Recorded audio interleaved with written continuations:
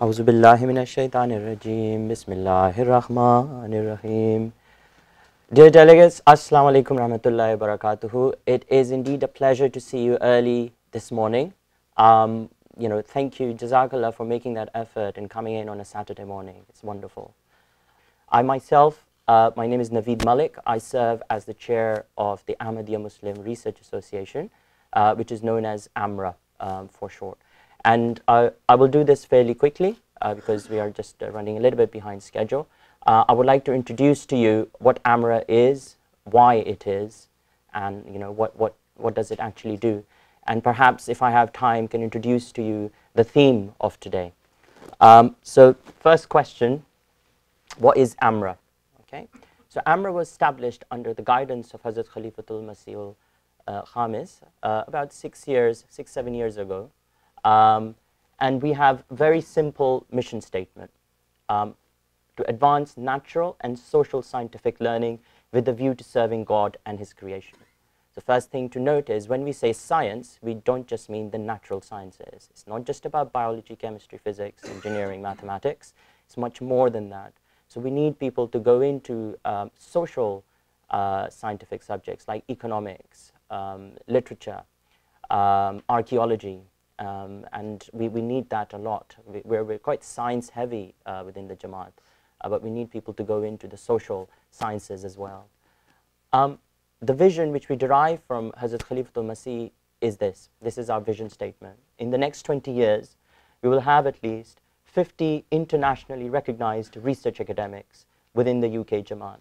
And this is the important part, that they will be examples of the spiritual scientist. So we're not just looking for people to do really, really well in their research fields and become professors and that's it. We, we don't just want that. We don't just want secular success. We want people who, have, who hold the Holy Quran in one hand and the book of nature in the other hand and who see the unity and the symmetry between the two. Because as Akram Ahmadi Saab pointed out, that's when you actually end up serving God and benefiting humanity, really not otherwise. So this vision we derive from Huzur, and I'm going to talk about uh, later, um, we, we, have a Holy Quran and Science workshop later, uh, about, we're going to talk about this particular quote from Huzur, uh, which I hope you have time to read. And particular emphasis I would put on new research.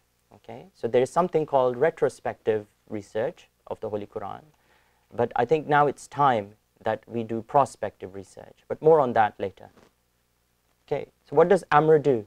Um, just to give you a bit of a snapshot, last year we had about 15 engagements. Uh, you can see that we do a variety of things, so many things. Uh, I would point out research cafes, which are aimed towards uh, sort of more research-minded and sort of those people who are planning to go into academia uh, from within our Jamaat. Um, and it's essentially a journal club which where researchers within the Jamaat can come together and they can talk about their work. Uh, obviously, everyone is invited to all of our events, by the way. Can I just emphasize that? On each and every one of our events, all Khuddam and Ansar and Atfal are welcome.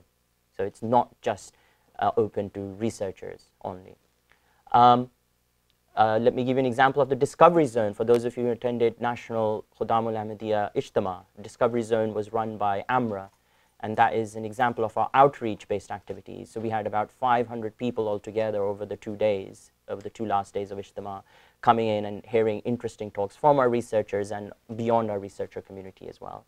Um, I will talk a little bit more about a few of the activities. So AMRA is divided essentially up into two main departments. So we have the outreach department, uh, which organizes, the purpose of outreach is to get our Khuddam and our Atfal interested in research, to get them knowledge oriented rather than just vocationally oriented, to develop that love and thirst for knowledge.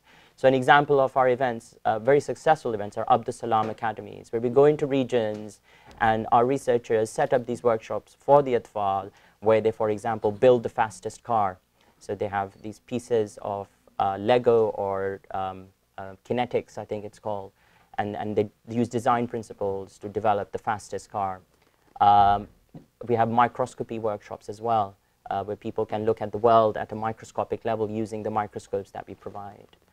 Um, we, the other big department which we have is the networking department, and that is more aimed towards um, older students, postgrads, MSc students, you know, PhDs, and beyond. And the purpose of that is to bring everyone together, share ideas, to provide career advice, like we're going to do today in the annual conference, um, and as well, and, and also in the research cafes as well. I'm just going to move on. So we have publications. We're planning to publish our first um, uh, AMRA journal very soon. Um, I'm going to zoom through. We have our website as well, muslimresearchers.org. That is our website if you want to find out more about us, muslimresearchers.org. Just a quick look at our front page of our website. Um, we also have a publicity department. Uh, you've come to interact with them uh, um, through Twitter um, and WhatsApp and Telegram and beyond as well. Uh, something new which we've started doing is AMRA Talks. Uh, some of you might have heard about it. We've had one event as well. Uh, the AMRA Talks is essentially TED Talks, but for Ahmadi researchers. Again, open in audience to everyone. Okay. Um, and the idea is that we raise the profile of our researchers and obviously enthusiasts as well, who are enthusiastic about research or particular ideas, and raise their profile from in within the Jamaat and beyond. That what great ideas we have uh, you know, within our community and what good we want to do in the world. And Holy Quran and research, something which now we're beginning to start. Uh, and you will hear more about this later, so I'm not going to talk about it too much. So on to the theme of our conference. I will again try to go through quickly. Um, in the Holy Quran, uh, if you read Surah Baqarah, um, the first condition of being righteous um, is said to to, to have a belief in the unseen. And in the Arabic, that the word used is. So what does ghaib mean? It's translated as unseen, but actually it's a word which has many meanings. Does it mean something that you can never see, never hear, never ascertain anything about it?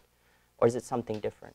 So at a surface level, uh, if you read the commentaries of the promised Messiah salam, and the Khulafa, uh, first of all means something which you cannot perceive with your physical senses, cannot hear, cannot see, cannot touch, and so on. Um, but does that mean that Islam promotes blind faith? You cannot see something or you know feel it or anything, but you, you have to just believe in it.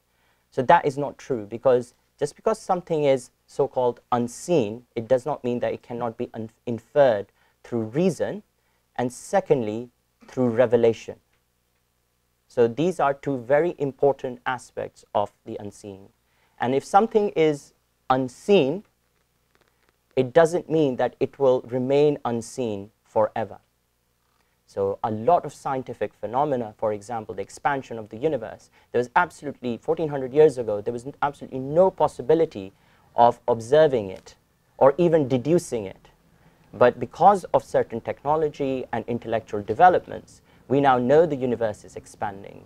We can see that from the redshift of the distant galaxies moving away from us. Uh, and so that is something which has become unseen. Another very important part of this is that if you look at the word for martyr in Islam, it's a very interesting word, it's shaheed. It's someone who witnesses, someone who witnesses, someone who witnesses God. So when someone dies serving Allah in that state, and sacrifices their life.